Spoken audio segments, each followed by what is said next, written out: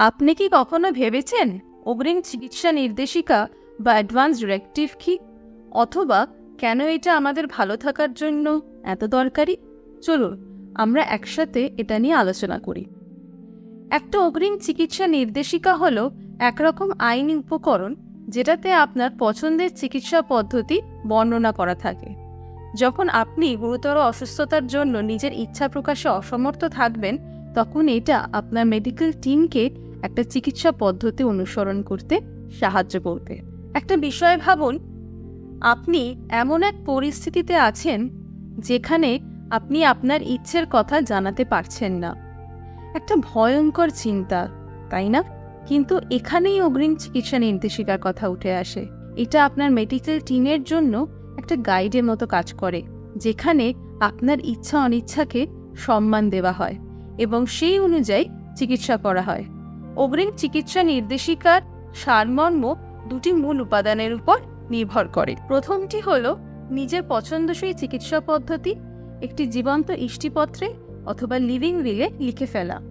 এটা ভবিষ্যতে যারা আপনার চিকিৎসা করবে, তাদের জন্য একটা চিঠির মতো, যেখানে বলা থাকে আপনি কীভাবে নিজের চিকিৎসা করাতে চান, যদি আপনি নিজে সেই ইচ্ছাটা প্রকাশ করতে অক্ষম হন। দ্বিতীয়টিও সমানভাবে আবশ্যিক। এটার মধ্যে অন্তর্ভুক্ত হল আপনার বিশ্বস্ত কাউকে আপনার জন্য চিকিৎসা সংক্রান্ত সিদ্ধান্ত নিতে অধিকার প্রদান করা, যখন আপনি সেটা নিতে অক্ষম হবে। এই ব্যক্তি, যিনি কিনা সিদ্ধান্ত গ্রহণকারী প্রতিনিধি বা সারোগের ডিসিশন মেকার অথবা health care durable power of attorney নামে পরিচিত, তিনি আপনার জায়গায় থেকে নিশ্চিত করবেন যাতে আপনার ইচ্ছাগুলোকে সম্মান দেওয়া হয়। এই উপাধিটি আপনার জীবন্ত ইষ্টিপত্রে বা লিভিং ওয়েল অথবা আলাদা নথিপত্রের মাধ্যমে বাড়ানো যেতে পারে। এবার আপনি ভাবতে পারেন, অগ্রিম চিকিৎসা নির্দেশিকা কেন এত গুরুত্বপূর্ণ? বিভিন্ন গবেষণায় দেখা গেছে যে অগ্রিম চিকিৎসা নির্দেশিকা বা অ্যাডভান্স ডিরেক্টিভ থাকলে আপনি ভবিষ্যতে অনেক উন্নত পরিষেবা পেতে পারেন। এটা শুধুমাত্র আপনার স্বাস্থ্য এবং স্বস্তির প্রয়োজনীয়তাই নয়, আপনার লিখিত পছন্দগুলি অনুযায়ী যাতে কাজ হয় সেটাও সুনিশ্চিত করে। এটা আপনার কিছু কঠিন চিকিৎসা সংক্রান্ত সিদ্ধান্ত নেওয়ার জন্য পরিবার এবং ভালোবাসা মানুষজনের উপরে মানসিক বোঝাটাও কমায়। যখন আমরা আমাদের জীবনের শেষ প্রান্তে এসে পৌঁছাই এবং আমাদের কথা বা ইঙ্গিতে কিছু বোঝানোর ক্ষমতা কমে যায়, তখন এই অগ্রিম চিকিৎসা নির্দেশিকা অত্যন্ত প্রাসঙ্গিক হয়ে পড়ে।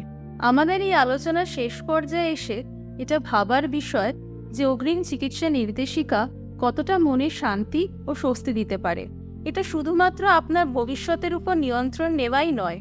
আপনার যখন কথা বলার ক্ষমতা থাকবে না, তখনও যাতে আপনার কণ্ঠস্বর শোনা হয়, সেটাও সুনিশ্চিত করে। এটার মাধ্যমে আপনার ইচ্ছাকে সম্মান এবং মর্যাদাকে অক্ষুণ্ণ রাখা সম্ভব। তো কেন অগ্রিম চিকিৎসা নির্দেশিকা তৈরি করার কথা ভাববেন না? এটা একটা সিদ্ধান্ত যা আপনার নিজের জীবনের এবং যত্ন নেওয়ার গুণমানের উপর ইতিবাচক প্রভাব ফেলতে পারে। মনে রাখবেন, একটি অগ্রিম চিকিৎসা নির্দেশিকা শুধুমাত্র এক টুকরো কাগজ নয়, এটা আপনার ইচ্ছার সাক্ষ্যপত্র। আপনার ভালোবাসার মানুষজনের জন্য একটা গাইড এবং আপনার মেডিকেল টিমের জন্য একটা মানচিত্র। এটা অনিশ্চয়তার অন্ধকারের মধ্যে এক আলোক সংকেত। তো এটা নিয়ে ভাবুন, বিবেচনা করুন এবং যখন আগ্রহী হবেন, তখন আপনার অগ্রিম চিকিৎসা নির্দেশিকাটি বানিয়ে ফেলুন। এটা আপনার ভবিষ্যতের দিকে একটা পদক্ষেপ যেখানে আপনার ইচ্ছাগুলোকে অবশ্যই সম্মান দেওয়া হবে।